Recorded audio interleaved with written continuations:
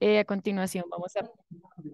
Buenos días. Vamos a presentar la actividad 5.2, Diario del Estudiante y Criterios de Logro. El grupo 1, conformado por José Fernando Cortés, Frederic Escobar y quien les habla, Karen Farfán. Nuestra tutora, Ángela Patricia Cifuentes. En cuanto al contenido, vamos a abordar en primer lugar los criterios de logro, en segundo lugar los grafos de esos criterios de logro, en tercer lugar el diario del estudiante y en cuarto lugar la temporalidad. En relación con los criterios de logro, pues presentamos acá uno de los ejemplos en la secuencia de S15 que indicaba identifica y asocia las medidas de las aristas del prisma y la S29 que indica descomponer el prisma en sus caras poligonales.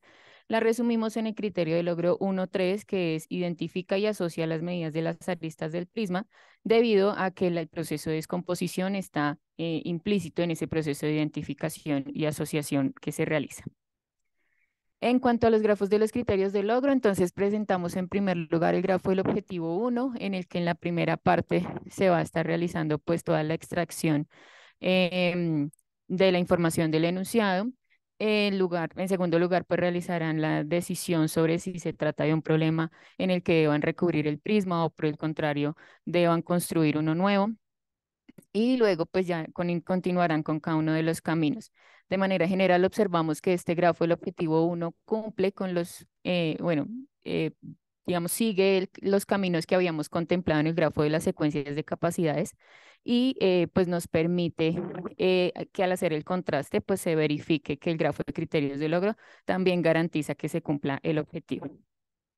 En segundo lugar, vamos a puntualizar acá un poquito en el grafo del objetivo 2. Como objetivo nosotros teníamos justificar los resultados obtenidos al resolver problemas relacionados con la optimización del área superficial de prismas rectos usando diferentes estrategias. Entonces, de la misma manera, inicialmente realizan la extracción de la información, luego deciden si, es, si se trata de un problema en el que deben encontrar la dimensión o por el contrario hallar el área superficial. Y con este grafo también logramos identificar que los criterios de logro, pues em, el grafo de los criterios de logro cumple con los caminos de aprendizaje contemplados em, dentro de los grafos de secuencias de tareas. Acá vamos a presentar uno de los ejemplos para la tarea 2.2.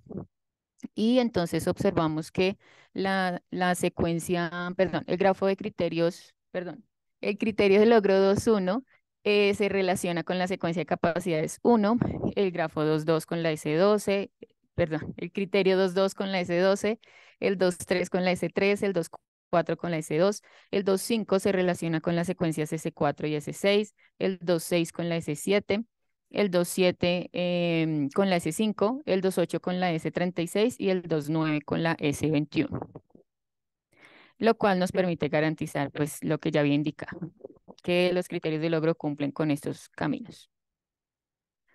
Eh, ahora en relación con el diario del estudiante, entonces esta es la parte inicial que tendrá eh, nuestro diario. Presentamos pues el logo del colegio, el nombre y la fecha para que sea diligenciada por los estudiantes y presentamos el objetivo que se va a estar trabajando durante esa tarea.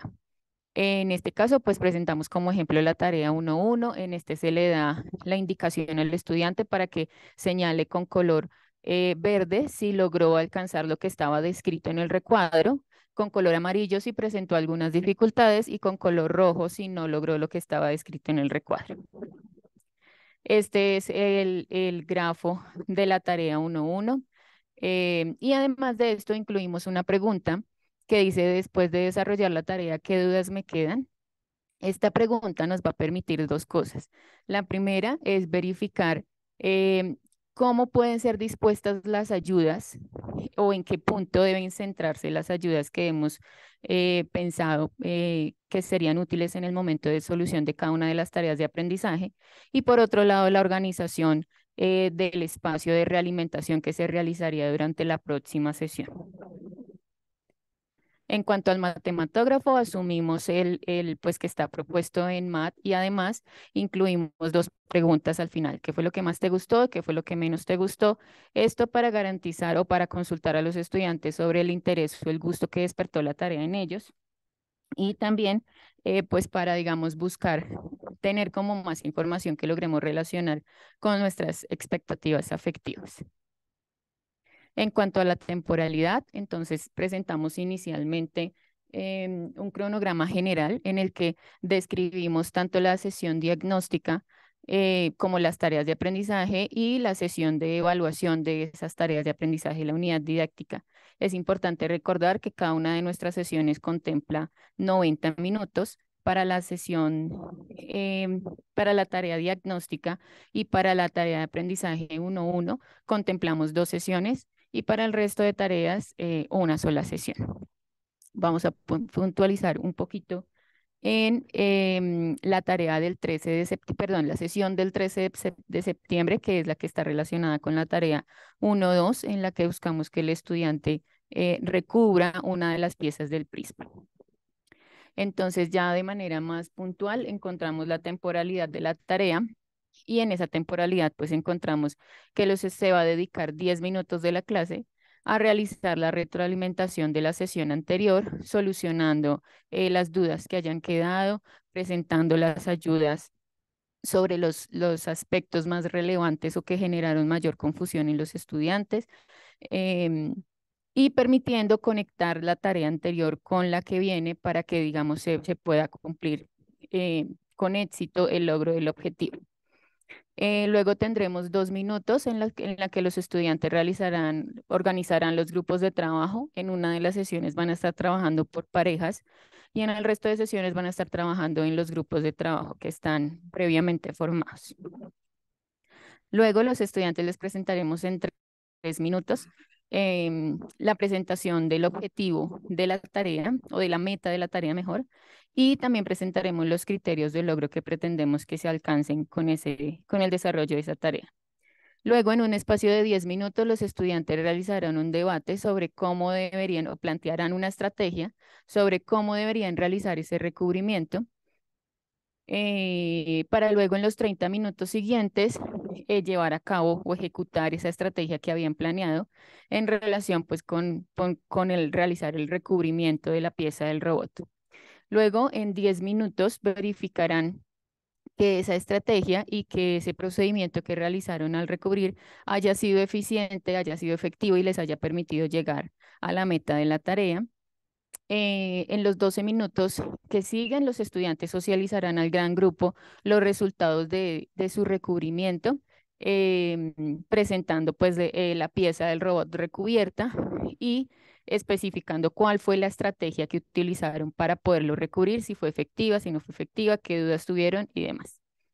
En los siguientes cinco minutos, los estudiantes realizarán el diligenciamiento del diario del estudiante.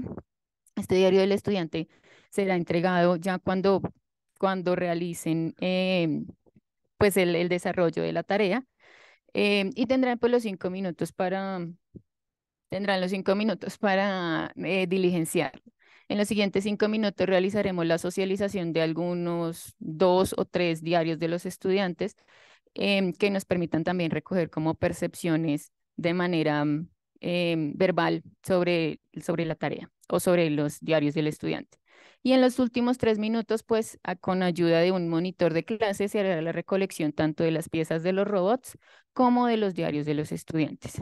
En resumen, presentamos un ejemplo de los criterios de logro, eh, los grafos de los objetivos, se hizo detalle en el contraste entre el grafo de secuencias y el de los criterios de logro, se presentó el diario del estudiante, el cronograma general de implementación de la unidad didáctica y un ejemplo de temporalidad de una de las sesiones. Muchas gracias.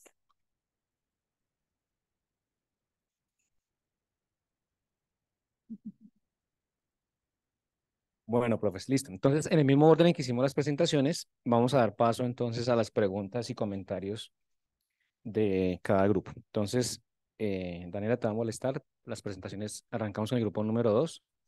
Entonces, preguntas y comentarios al grupo número dos.